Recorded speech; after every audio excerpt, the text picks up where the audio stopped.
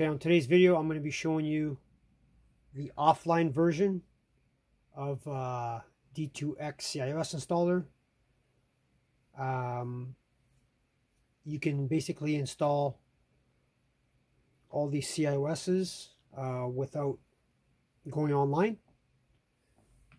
So it'll basically install uh, base 38 56, 57, and then 58. And then you can run um, your Wii games off your USB or hard drive. Uh, we'll get over on the Wii and I'll show you how to install it using uh, Mod Lite. Okay, so now over on the Wii, um, I have a Wii system that uh, does not have the CIOS installed yet. So I'm going to install it. So go to the homebrew channel. Start.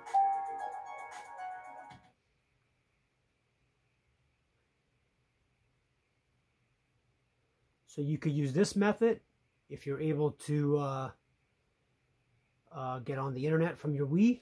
You can just go here. But I'm going to show you the offline way. So you go to WiiMod Lite, start it up.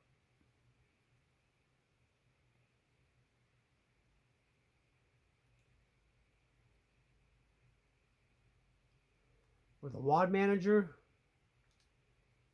press A on the Wii SD slot. Um, I named mine the CIOS pack, so press A. And then I have four right there. So 38, uh, 56, 57, and 58. So if you press 1, it'll install all of them at once. So that's what I'm going to do. Press 1. Do you want to proceed to all four files? Say yes. And there you go. This will not break your Wii, by the way.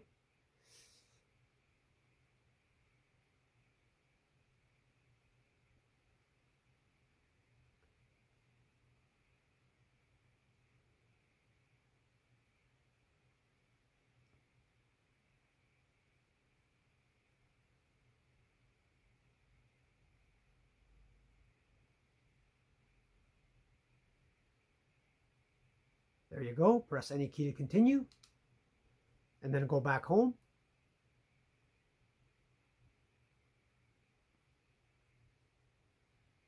And home again. System menu. So hopefully this video helps somebody out. I think this is the easiest method to get your Wii games going. Um, I'm going to leave the links in the description for this pack and it'll have WiiMod Lite and the CIOS installer. So just download the link and um, install it on your Wii. Um, if you have any questions or comments, put them down below. And on to the next video.